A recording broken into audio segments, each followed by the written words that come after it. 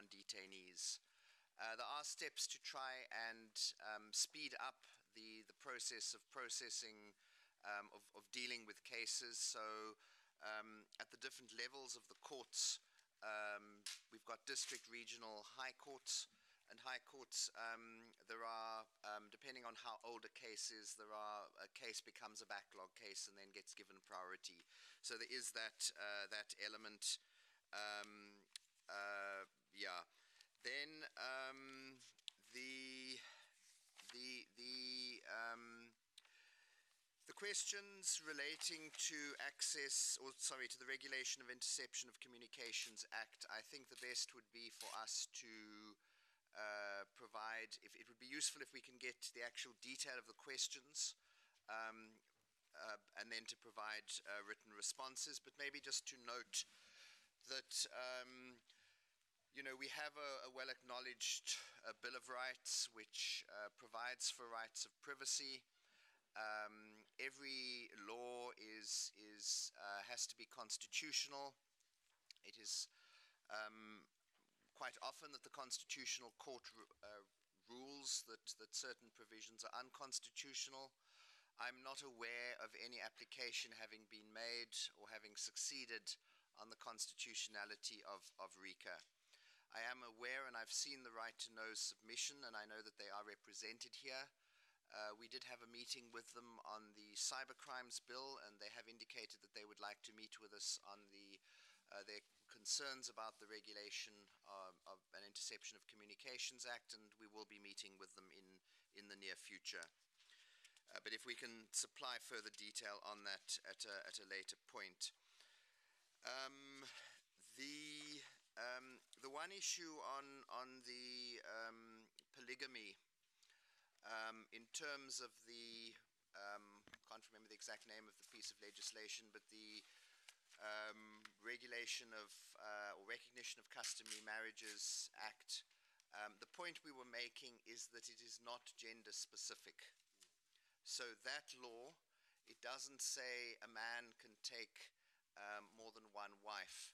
Uh, there's no gender specific term, so we were just simply raising it may be possible for polyandry to take place under that act as, as well.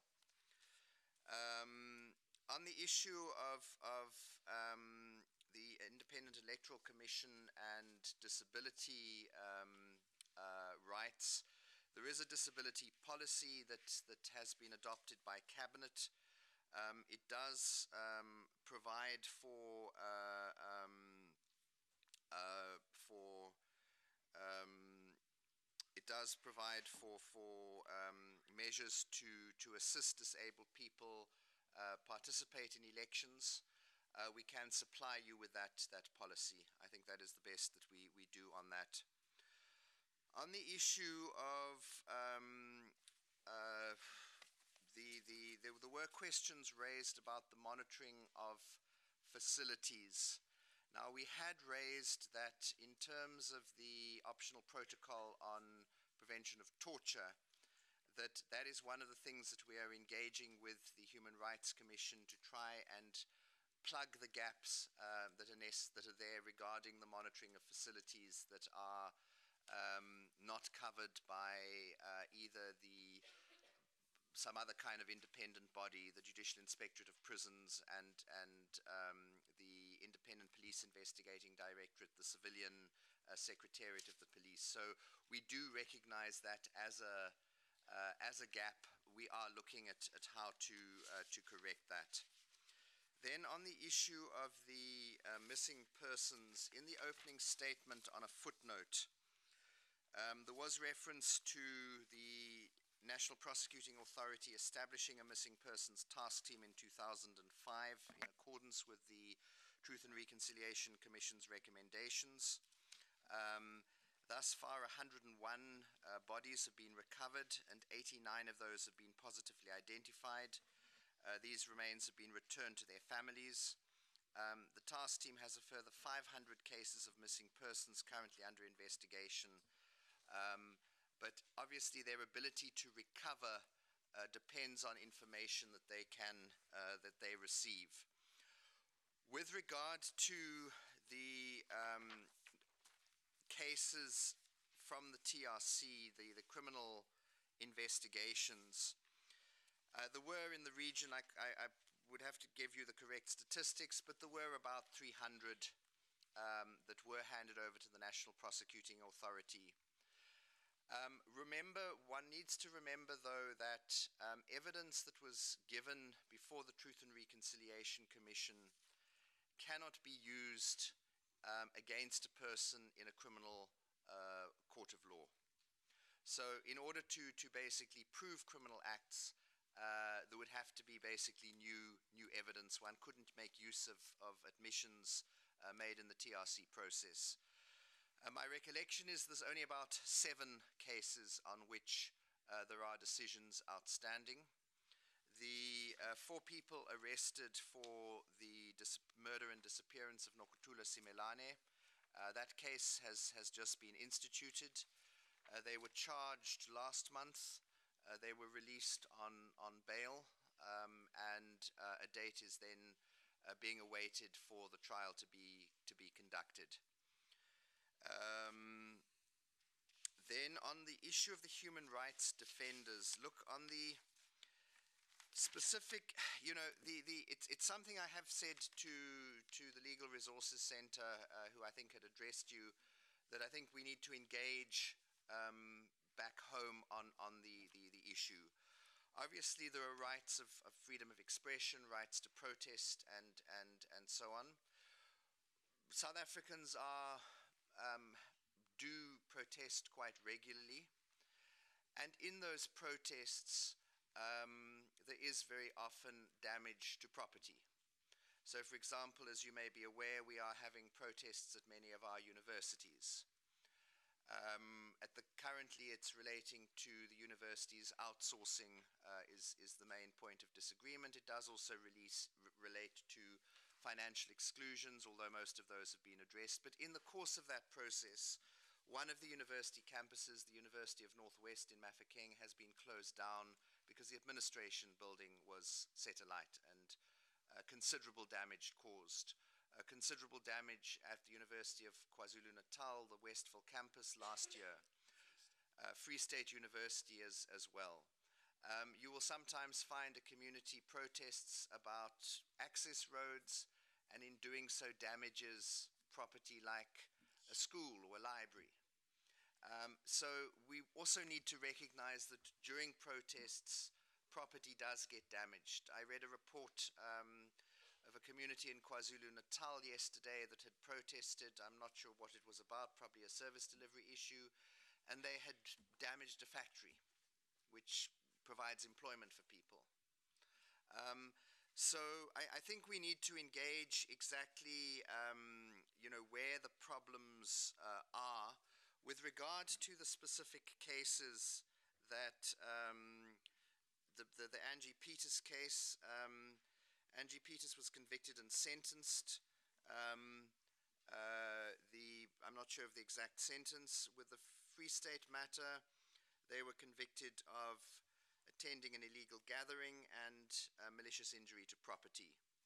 Now, I, I, don't, I've never heard anybody criticizing the fairness of our legal uh, system. So um, if people disagree with a sentence, uh, they can appeal. And, and I'm not sure what is happening, whether there are, I think in the Free State matter there are appeals, which would be to a higher court. Um, ultimately, it's the um, uh, Supreme Court of Appeal and then the Constitutional Court, even uh, that, that, or the Constitutional Court, which is the, the highest court, and the, const- the Constitution was amended not so long ago to empower the Constitutional Court to hear any matter that they want to. It doesn't have to be relating to a constitutional issue. But I, I, I think um, we'd, we'd either, well, we will be engaging with, with um, civil society organizations back home on the um, on the process uh, um, on the issue because it's not something which we are understanding too well uh, where the concerns are. On the Protection of Personal Information Act, um, that act, the, the, the, initial delay in, in the implementation of that act was uh, relating to an internal matter of the grading of the information regulator. uh, when that was resolved um, and um, you know when that was resolved about how much they should be paid, the matter was referred to the National Assembly uh, to um, uh, to to um, uh, to appoint the information regulator. Uh, we are hopeful that they will be appointed in uh, the next few months, and they then can start establishing uh, the, the, the infrastructure.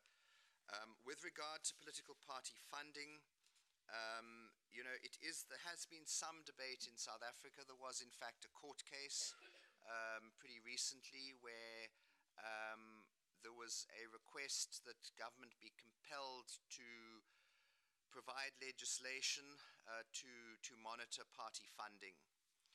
Um, as far as I recall, the outcome of the case was not in support of the application, and the view was that uh, the applicants should have made use of the uh, Promotion of Access to Information Act to request detail on, on party funding.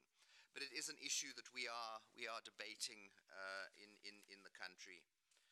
Um, I think that's, that's sort of largely um, what I can respond to. Um, maybe just one issue. I know the Director General of, of Traditional Affairs will cover it, but on the issue of legislation and languages, um, there is a requirement that bills have to be in two official languages, any two of the official languages, um, before they are assented to by the President. Um, that is not necessarily automatically English and Afrikaans. Generally, a bill is, is one of the language is by practice is English, but it then varies. It's any of the other 10 languages uh, the other version will, will, will be in. Um, though they follow, apparently they follow a roster. So there is an attempt to, to spread it. It's not just English or Afrikaans. The constitution is, is available in all 11 official languages and it is even in, available in Braille. Um, the Braille version is rather uh, thick. Um, but uh, yeah, so just let me add those points. Um, thanks, Minister. Okay, thanks, uh, Chairperson. Uh, I'm going to deal with, I'll start with the rigid criteria recognizing Khoisan communities this matter has been submitted to us back at home. On the 2nd of March, the National Khoisan Council appeared before the portfolio committee that is considering the bill. And uh, this issue was submitted. And uh, it will be considered when the whole process is, it's, it's, you know, it's finalized. However, it is intended to ensure that because the Khoisan people are recognized for the first time, it is intended to make sure that people can self-identify themselves because they are all over the country and so on. In order to have um, a traditional community and so on, some of the criteria, if, if it is not, um, if it is not something that is going to help, I think during the process of consultation and hearings in Parliament, they'll also consider that. We have also looked at that. Uh, that there are also views that the bill is reinforcing apartheid boundaries. Traditional leaders do not have boundaries. We have local government that has wall-to-wall boundaries, constitutional boundaries. Traditional leadership has jurisdictional areas, and those jurisdictional areas sometimes overlap into two uh, uh, municipal areas and those kinds of things and they, we refer to them as soft boundaries, really, and so on. So, what the Constitution recognized was was what was in in existence. So people are saying, you know, we should perhaps relook at that. On the issue of self-identification, people that are outside that jurisdictional area, that live outside of that, and so on, and uh, perhaps if they identify themselves with that traditional community and so on, we should consider looking at self-identification as we're applying the same criteria with the Khoisan people. Um, the, the issue of why Khoisan language is not promoted, why are they tw the 12 languages? The, the, the Khoisan heritage and languages and so on were destroyed in the 1800s by 1910, um, it was decided that the Khoisan people, because they did not have any heritage or language, they will be referred to as colours from that time. And uh, by 1996, when we had our constitution, uh, their language was not codified. And that is why Section 6 is talking about the Khoi, Nama, and San that has to be developed. So many of those languages are not even written and so on. However, we have uh, the PAN South African Language Board that is supposed to develop these languages, like alongside the other African languages that are not well developed. As far as the, the quotas for the fishing rights, which have been taken away, we will make a submission, written submission, and uh, also the issue of considering land, land claims beyond 2013 will also make a written submission. Thank you.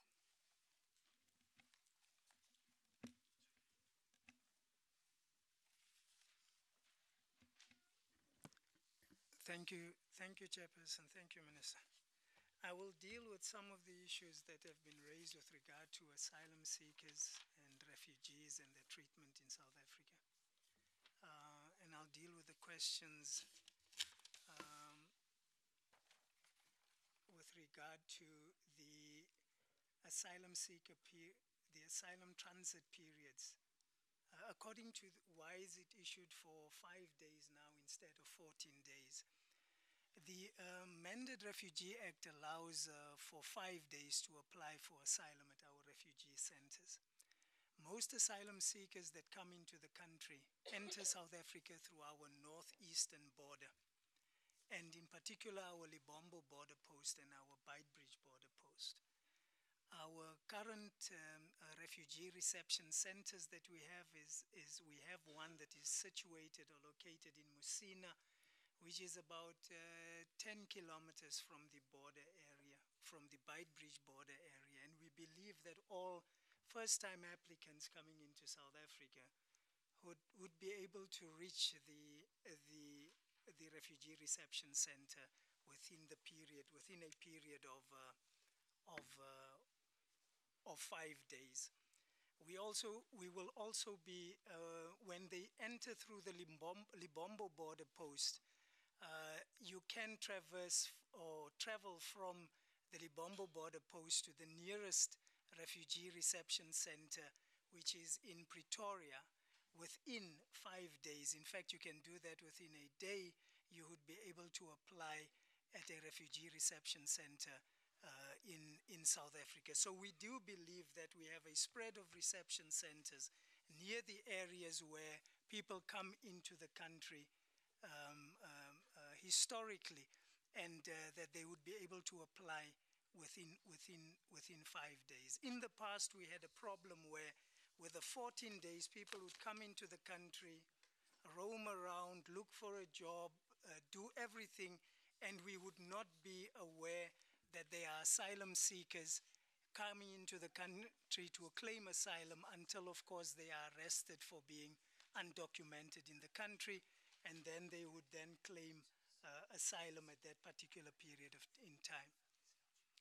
Uh, with regard to the question of uh, uh, whether there are safeguards for asylum seekers that do not have documentations when they enter South Africa, indeed, every asylum seeker that comes in at our ports of entry and makes his intent, his or her intention known that they would like to apply for asylum in the country are issued with an asylum transit permit that allows them to enter the country and to travel to the nearest asylum seeker center to apply for, uh, to apply for asylum. Um, the Refugee Act also allows for entry into South Africa without documentation.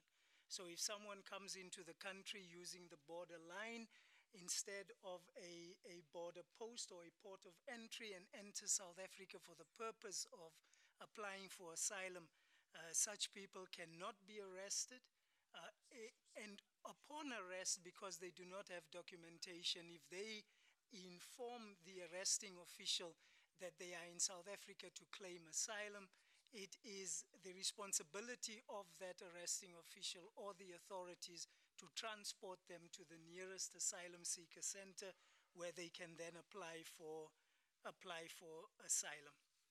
Uh, with regard to the uh, allegation about Beitbridge not issuing asylum transit, uh, transit uh, uh, visas, uh, we would like to take up that issue because where we do find it is not policy or state policy, it might be linked to corrupt practices or some officials that are just that are not implementing the law. And in such cases we would investigate and deal appropriately with officials that are, are found to be behaving in a corrupt manner or denying uh, asylum seekers their rights. Um, there are some questions uh, uh, that deal with the proposed new legal framework uh, for refugees that is uh, for, for, for refugees and uh, in the shadow reports and with regard to the questions being asked in terms of how we deal with, uh, with, with stateless person or the conferring of, uh, of naturalization on, on refugees and asylum seekers. Um, these, um, I can say that the new, the new Refugee Act or the proposed Refugee Act has been workshopped and consulted on by the department with uh, the NGO sector. They have made uh, comments on it, they've made some proposals on it. We have uh, included some of the proposals in the, in, the, in the, the proposed legislation that will be before Parliament. And the Parliament also has a constitutional, so the South African Parliament has a constitutional responsibility to consult when considering legislation. So they will have another a chance to participate at a parliamentary level uh, when the proposed, new proposed uh, um, uh, policy or, sorry, bill on refugees will be going through, through parliament. And we would be able to deal with some of the issues that came out of here with regard to statelessness, unaccompanied minors, uh, and the issue around the dependence of refugees that have come up in the in the shadow reports and on some of the questions that were raised uh, that were raised here. With regard to Lindela and uh, why are deportees concentrated in one facility?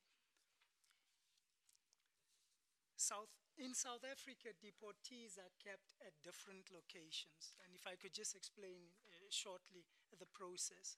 Where, where undocumented migrants are arrested in provinces.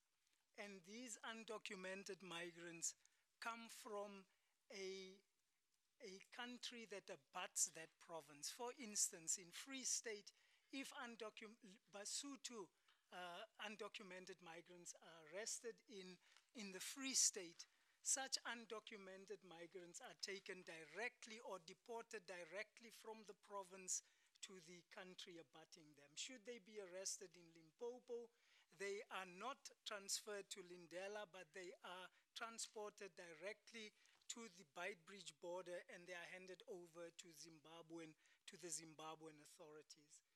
The, the Lindela Repatriation Center is kept for those or is, would be, we would find in them mostly um, those from the neighboring countries or from the region that have been arrested within the Gauteng area, as well as those that have been undocumented migrants that have been arrested in the rest of South Africa but do not come from the SADC region but or our immediate neighbors but come from uh, further or uh, countries further to the north and those from Southeast Asia or anywhere else in the world that would need to be removed out of South Africa by using air transport, uh, we would then keep those at Lindela.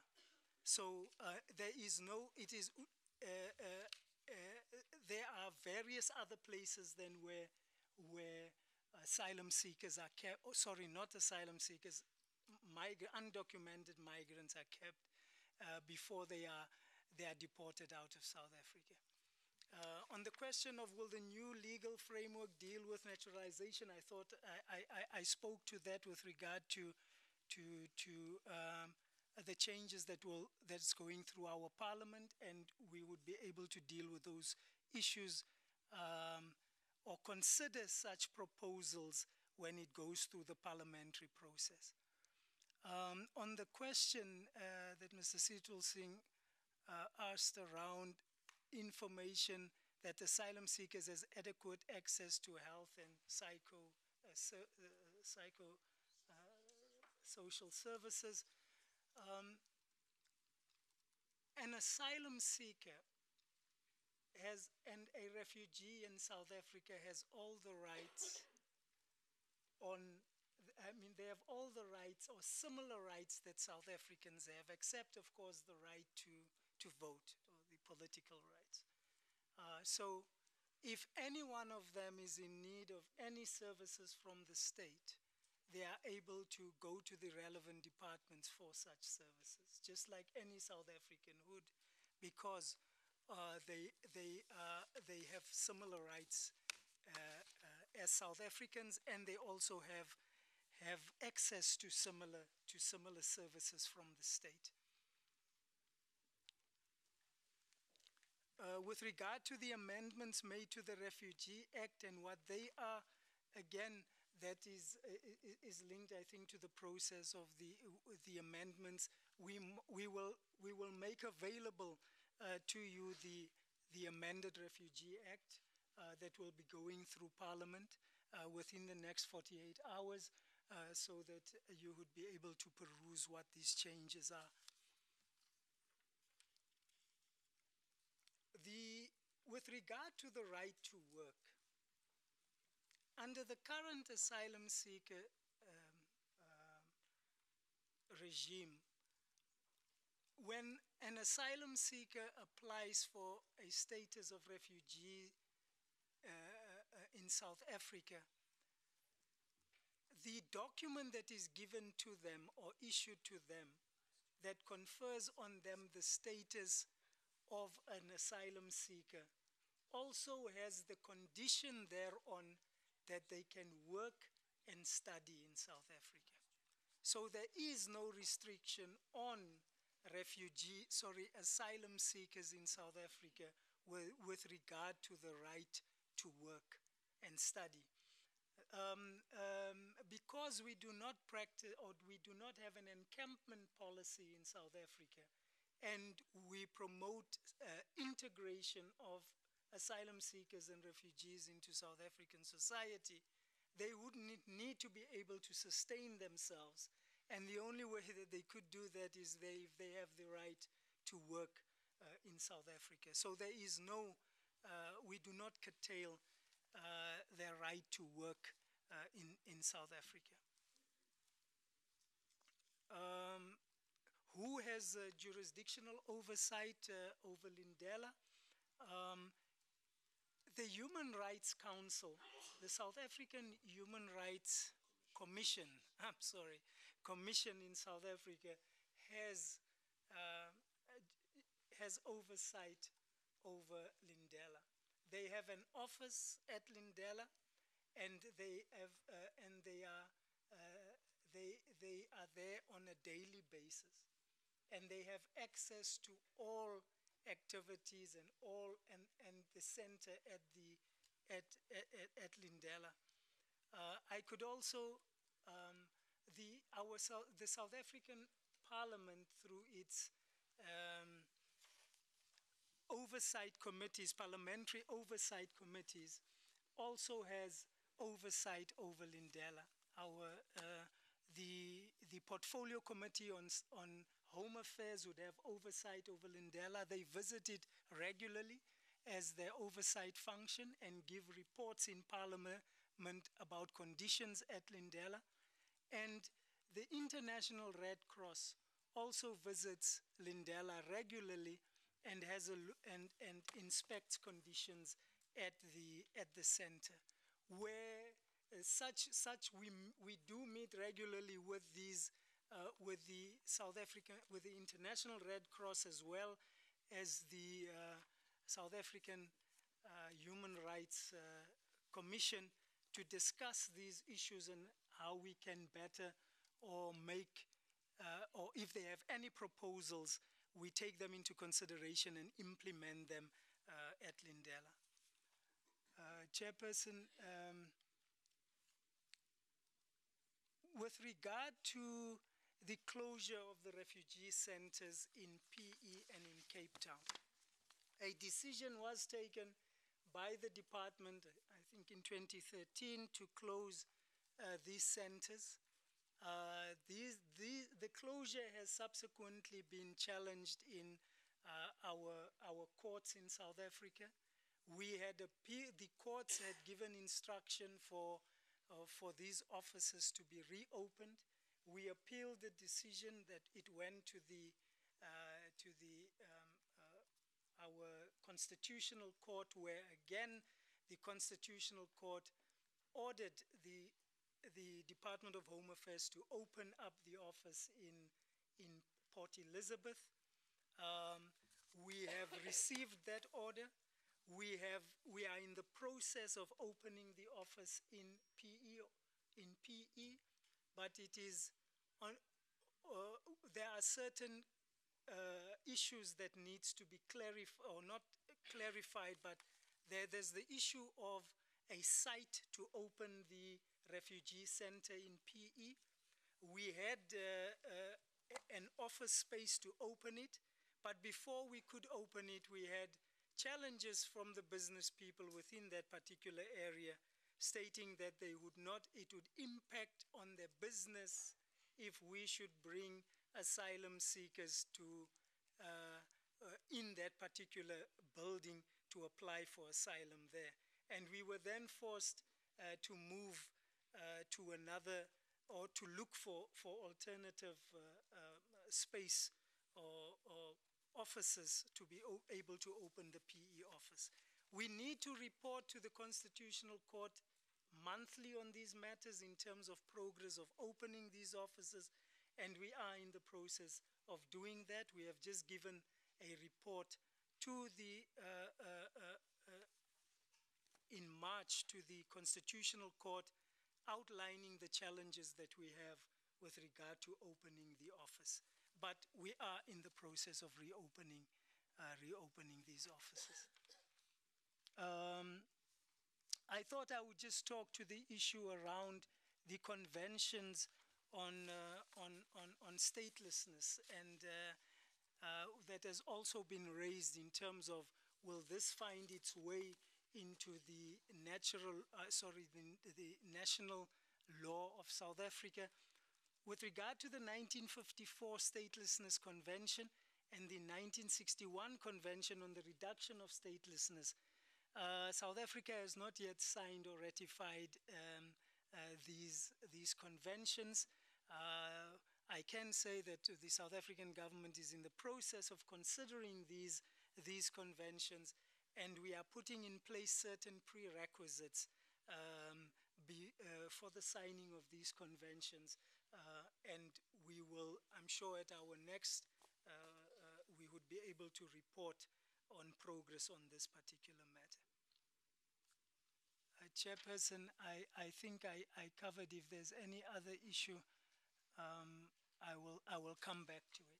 Uh, if, I, if I may also just mention be, that with regard to the appeal backlog and uh, the number of applications that are at the appeals uh, um, uh, pro process uh, back in, in uh, the asylum appeals process, we will respond within 48 hours with regard to to the number of, of of appeal applications that have not been dealt with yet. Thank you, Chairperson. Thank you, Chairperson. Um, I want to first of all respond to the request for disaggregated data on our various centres. Um, we can certainly provide that. It's, it's data that we use in our national and regional overcrowding task teams, which look at the distribution of inmates um, to deal with the disproportionate distribution. Um, where possible, we obviously look at moving inmates from, from facilities that are overcrowded to less overcrowded facilities. However, with remand detainees, that's often not possible given they need to be close to, to the courts.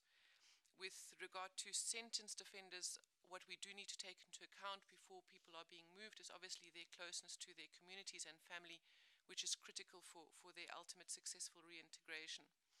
Um, we are uh, prioritizing areas for building of new facilities where we have the most overcrowding. Um, with regard to, to we've, we've very seriously considered the report that was done by Judge Cameron of the Constitutional Court. Uh, he visited our that facility in terms of a very important oversight mechanism that we have in our law. Um, following this report and, and looking at the issues that were raised and, in our own assessments, uh, Pollsmoor was in fact entirely emptied out. Every single inmate was, was moved to another facility for a short period of time to deal with some of the issues that, that had been raised there. There have been a, there's been a subsequent visit from uh, another judge of the Constitutional Court. We are awaiting his report, but it seems to be a lot more positive than, than the previous one. Um, we've also had a visit from uh, the Judicial Inspectorate of Correctional Services who have indicated that they've seen a lot of improvement. And we've invited um, and have in fact had visits both from the NGO as well as the Lawyers for Human Rights that are representing them in, in the litigation dealing with Pollsmoor. Uh, the overcrowding remains an issue. Pollsmoor is not as overcrowded as it was before the intervention, um, but it is certainly still uh, something that we are, are, looking at. There are a number of uh, interventions that I think we will submit um, uh, in, in, more detail uh, um, within the 48 hours. But I think just to, to sort of look at some of them, it's the, the increase in a maintenance budget, given that the overcrowding means that maintenance is, becomes more of an issue. We've looked at staffing, uh, especially professional staffing, and we have increased our staffing, specifically of nurses and psychologists within that center fundamentally. There's a new pharmacy that has opened there, and we have looked at better waste disposal and, and laundry facilities. Um, we, we do battle with the, the issue of uh, our infrastructure that uh, obviously far older than, than, than 90, before, obviously most of them built before 1994 and certainly not with any kind of focus on rehabilitation. It was kind of a, a lock up and go. And although our policies and legislation have changed, we are still stuck with buildings that, that perpetuate far more um, that approach rather than rehabilitation. So we do have challenges when it comes to, to, to issues of exercise. Um, we have dealt with some of that by, by trying to create more space within that, um, as well as ventilation issues. All of these issues will be addressed when we, when we look at new facilities. And certainly the area of uh, within the Western Cape, we are, are looking at a new remand detention facility in the coming years. There are two new facilities that have been built uh, within the Western Cape. Uh, they are awaiting final, final uh, allocation of resources and some few minor adjustments to the infrastructure, but will create an additional uh, 600 odd, odd, bed spaces, which, which of course will, will alleviate some of the issues. Um, we are, uh, particularly in the Western Cape, affected very much by, by gangsterism, which is both within the, the centers themselves as well as gangs that come from the outside that also impacts on our on our ability to to deal with things like exercise because we need to divide people far more in in, in, um, in uh, when when we do uh, take them outside of their cells to be mixing with others. Um, the issue on, on overcrowding generally, I think I dealt with some of it yesterday, but uh, there were specific concerns now raised, uh, I think, regarding the over two years. How are we reducing over two years? Um, there is a, a, what is called the Office for the Criminal Justice Review, which includes many of the, the departments affected uh, or part of the criminal justice system, as well as legal aid and uh, business against crime. And they, we do look at very particular projects um, dealing particularly with delays within the criminal justice system. We've started a project at looking specifically of those over two years. Um, we have started to gather figures on that following our, the implementation of 49G of our Act um, which looks at the very specific referral of anybody within our centers that is um, in remand for longer than two years, where we are obliged to refer them to the court for reconsideration of their continued detention. Um, there's also a, a, section within our Criminal Procedure Act that allows at any time for, for a judge or magistrate to consider the length of detention and to consider whether continued detention um, is, is, is uh, justifiable. we have, um, in, with regard to the, the sections, we are also obviously looking at barriers that are there that are of an operational nature. So those that are with bail that are returned to our center, we are entering into agreements with Legal Aid South Africa to be able to inform them of the, of the people that are still with us, although they've been granted bail, in order to deal with that. Um, with relation to the electronic monitoring, we, we certainly see it as, as, a, as, as, something that can be used in terms of reduction of remand detainees. Um, we, we did, however, say that we need to have uh, greater cooperation both within the cluster and the judiciary in terms of how that can be used. So last month, the protocol, um, after substantial uh, consultation, has, is now being signed by all of the heads of department uh, relating to that. Um, on the issue of the Luanda guidelines, we've been part of the a number of workshops that have been taking place in South Africa, held by the African um, Policing Civilian Oversight Forum, and we've given input into the, the ways in which the Luanda guidelines can be applied and how uh, we can be measured by that. So we, have we've, we've talked about indicators, we've talked about performance of the department. So so um, we we certainly um, are looking at fully implementing that. Um, the issue of Groenpunt, um, yes, there, there, were there were major challenges. The, the South African Human Rights Commission, when they issued those recommendations, we looked at that, and, and, there were primarily two issues that we needed to look at: the provision of food, and the issue of attending to complaints of inmates. Um, the provision of food, we have had serious infrastructural issues. We have, for that reason, outsourced um, the, the, the production of food or the provision of food to inmates while we deal with those those issues and the Department of Public Works specifically looking at putting something in place that takes into account the, the center itself um, and the age of the center in, in. Um, and with the complaints of inmates, there has been uh, substantial progress, and I think we, have we've, we've, we've managed to deal with that. In addition, the, the uh, overcrowding at Groenpunt is, is currently at 127%, uh, which is, which is below our um, national average. Um, I think I have dealt with most of the issues. The, the definition of juveniles uh, for correctional services, we don't detain any children under the age of 14. So our um, uh, groups are from 18 to, uh, sorry, from 14 to 17. We consider children, which with very specific legislation applying to them. From 18 to 20 juveniles, which we also um, attempt, in, uh, at, if at all possible, to keep separate from adults, and from 21 um, over as, as adults. Um, there were some issues, I think it was uh, just a comment in response to our queries on, on some of the cases that were raised. Um, I know that there was a mention of Mangaung uh, Bloemfontein tends to refer to the same, it is, tends to be the same. I think that requires a very substantive um, uh, input, so we will certainly do that within the, the, the 48 hours. I, th I think I've covered most of those.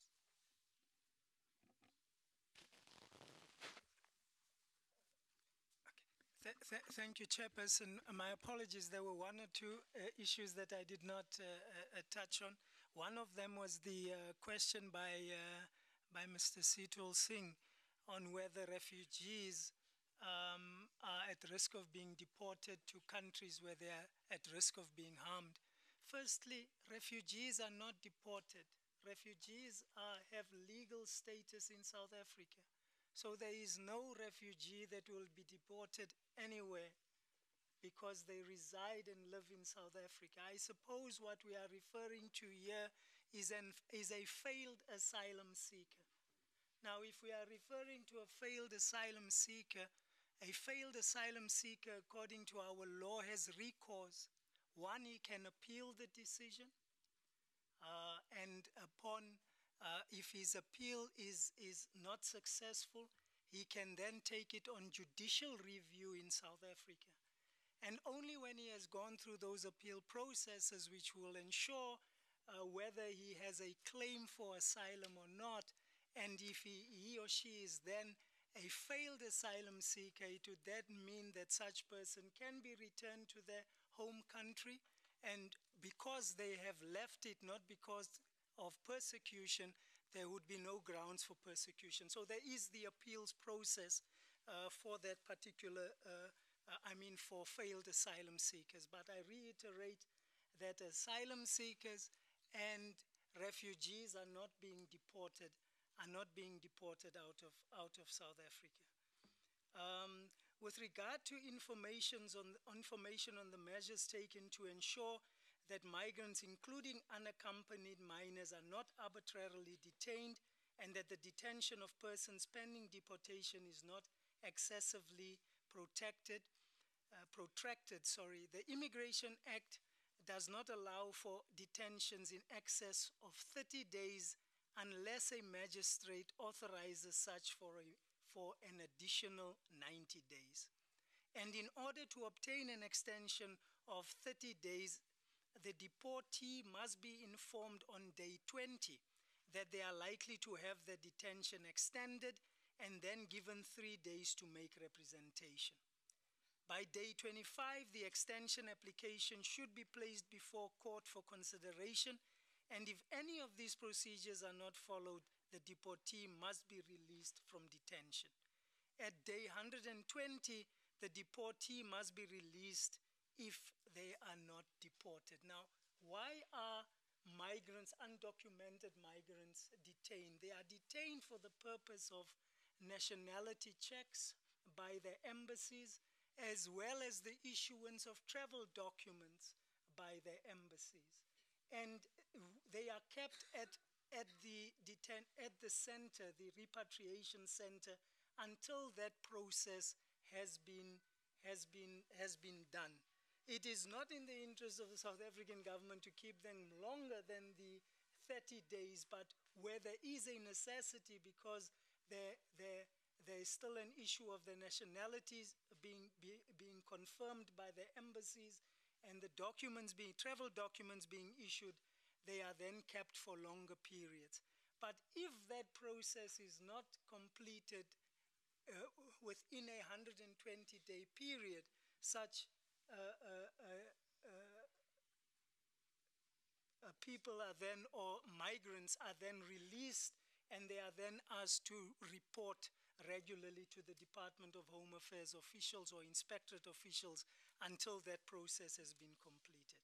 Regarding unaccompanied minors and vulnerable groups, the department places such persons in places of safety uh, with our Department of Social Development and they, we do not detain, detain such persons. No migrants are detained unless it is made clear to them that they are being detained due to suspicions about their status, and this can only be for up to 48 hours, and in that time, the officials are required to assist the person to verify their status before it is finally confirmed that the person is in the country undocumented. And you can only then be transferred to the Lindela Repatriation Center after all of those checks have been done, meaning that people finding themselves at the Lindela Repatriation Center would be people that who, who has been in, who, where an investigation has proved that they do not have the necessary documentation to be in South Africa. I thank you, Chair. Um, sorry, just two, two additional areas that I'd forgotten to cover. The one was the question of legal aid.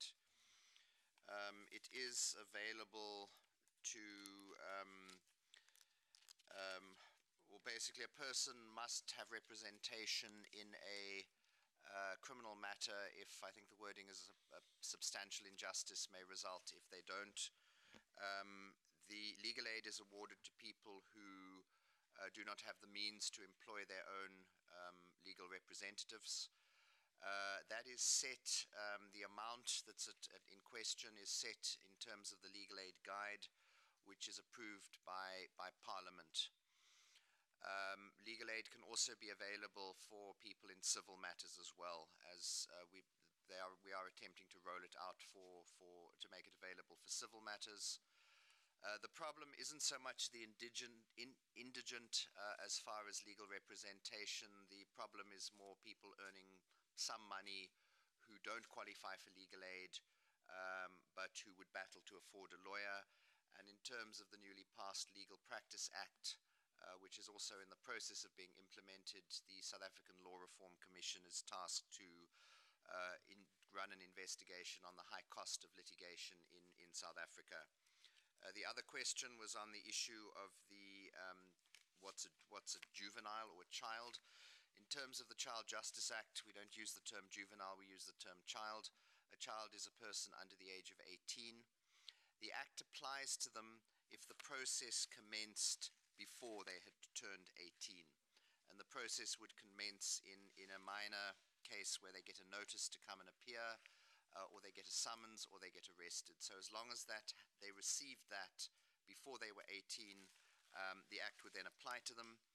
Um, there is also a provision that the Director of uh, Prosecutions, the provincial chief director, as it were, um, can direct if the crime was committed before the person was 18 and they are under 21 years uh, at the time of the process, the legal process is starting, the um, chief prosecutor can direct that, that, the person be dealt with in terms of the Child uh, Justice uh, Act. Um, it has seen a substantial reduction in the numbers of people, of children. I mean, the aim of it is diversion. Um, and um, the numbers of people uh, being sentenced to imprisonment in prison uh, or uh, in a correct in a secure care facility has reduced substantially. Um, we have um, 31 secure care facilities available in South Africa for children in trouble with the law, with a bed capacity of 2,696.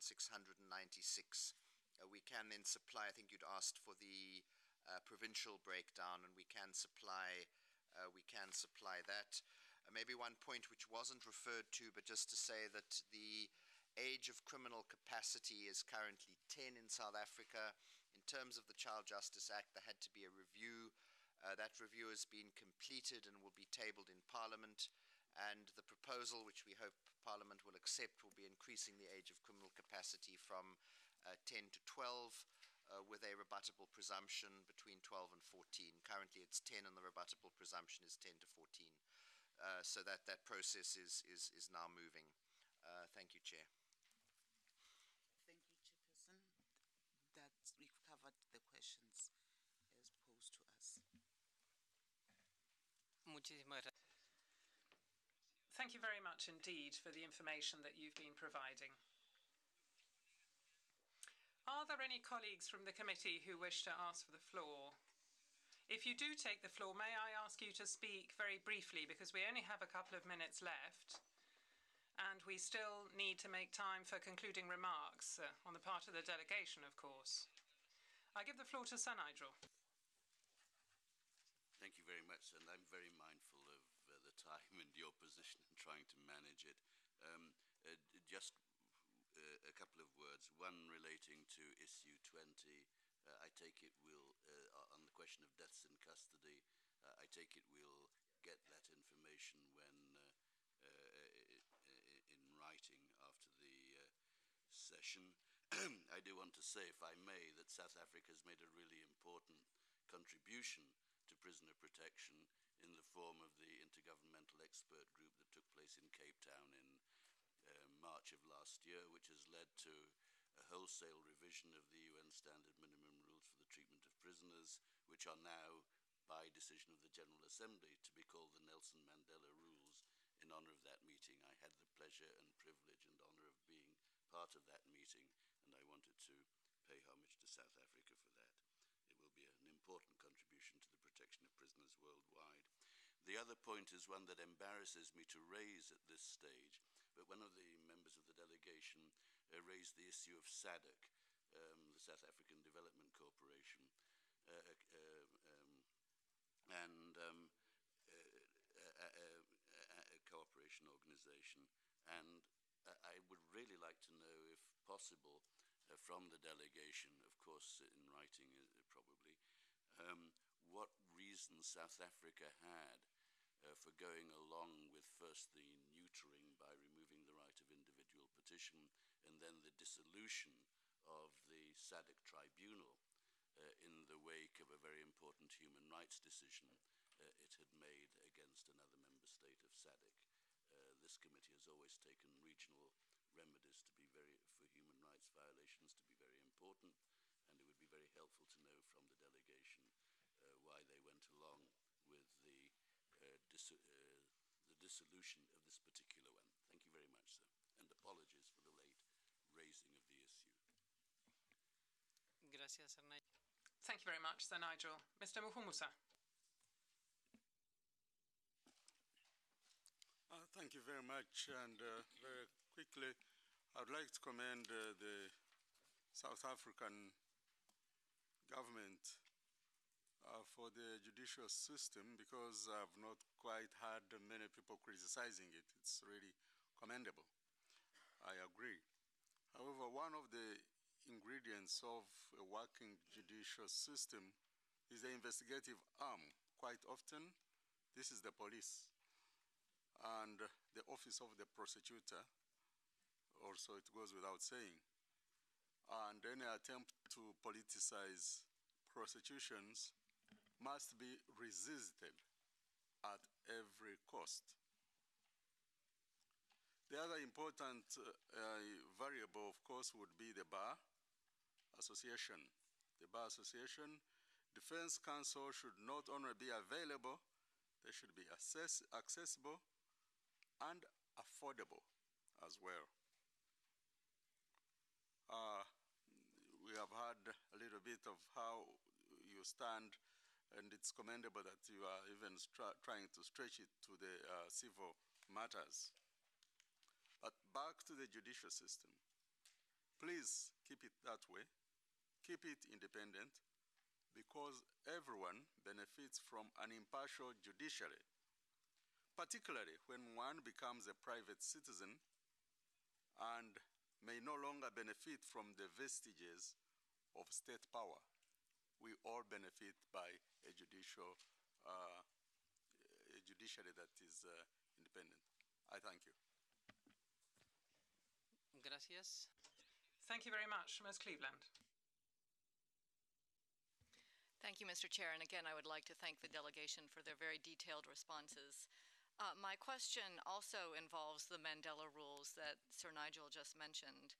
Uh, and one issue that I'm not entirely sure if we adequately addressed was the issue of solitary confinement. We have reports um, that at least two facilities in South Africa, the CMAX facility and the Ebongweni uh, Supermax prison, um, detain prisoners in conditions that would qualify as solitary confinement under the Mandela rules, and we would welcome information from the state party regarding that, its accuracy, um, and the reasons therefore. Um, and that obviously can be in writing, it doesn't need to be now. So thank you. Muchas gracias. Thank you very much. Mr. Shany. Thank you. Uh, very briefly, on, uh, on legal aid, I want to note the, uh, the, the, comment made by the delegation on the substantial injustice standard. I just want to highlight that the, the covenant uses uh, interest of justice, which may be a somewhat different uh, standard. Um, and specifically, I would appreciate any clarifications whether the substantial injustice or interest of justice standard would also apply in immigration cases, namely uh, whether asylum in asylum determination proceedings, whether if the interests of justice uh, so require, there will be legal representation. Thank you. Muchas gracias. Thank you very much. I now give the floor to Her Excellency, Mr. Shabangu, so that she may impart unto us her concluding remarks after the dialogue we've had. You have the floor, Your Excellency. Thank you very much, Chairperson. On behalf of South African delegation, would like to thank you, the Vice Chairperson, the Secretariat, and the distinguished committee members for the effective and conducive manner in which this dialogue took place. We also thank the South African Human Rights Commission as well as civil society organizations for their contributions to this review. This is a special year for us in South Africa as we celebrate the 20th anniversary of our Constitution. This brings with it a renewed commitment to the attainment and advancement of human rights in our country. If people are not aware of their human rights and how to exercise these rights, a constitution simply becomes a set of empty promises on paper. Therefore, we have rolled out a number of programs aimed at constitutional education and human rights awareness in our country. We must also indicate that the covenant contains many provisions that are aligned to the, our constitutions and laws and policies that explicate the constitution. Hence, this year, as we celebrate the 21st of March, which we commemorate as Human Rights Day, which will be held on the 21st of March, we have adopted a theme which says National Day, uh, National Day Against Racism, but also we adopted the following slogans Racism, not in my name, racism, not in my country.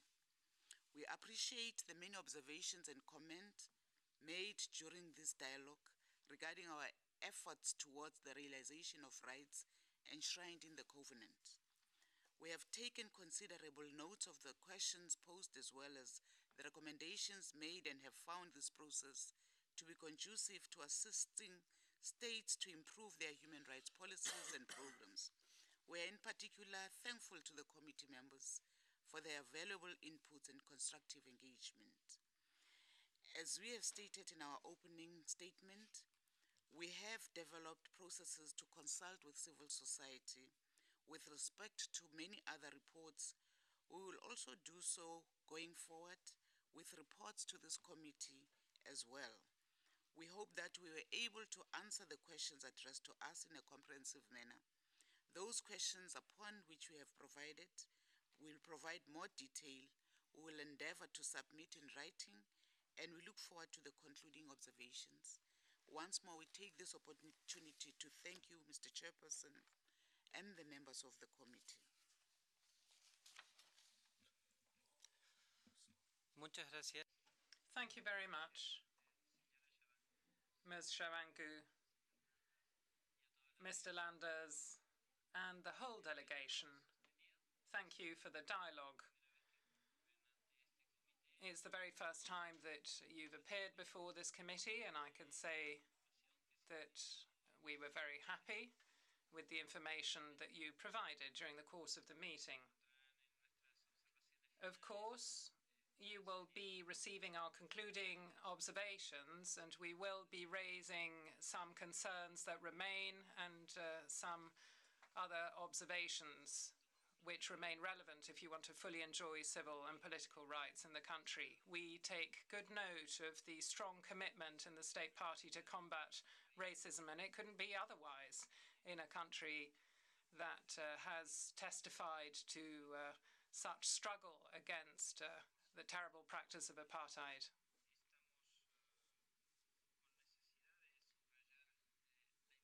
We feel compelled to emphasize how important it is to prevent any kind of torture or inhuman, uh, cruel, and degrading treatment. And of course, detention conditions are extremely important. It's also very important to safeguard the rights of detainees.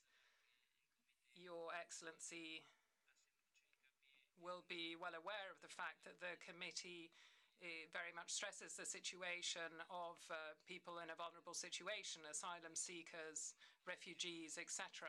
We take note of the fact that there is a significant amount of legislation in this respect, but it's also important to practically implement legislation and make it fully operational and ensure that the situation is dealt with appropriately. As for customary practices, the problem is neither in the past uh, nor in the present. The problem is uh, male chauvinist practices, whether it happens in the past or present or uh, could happen in the future, and that lies at the core of things.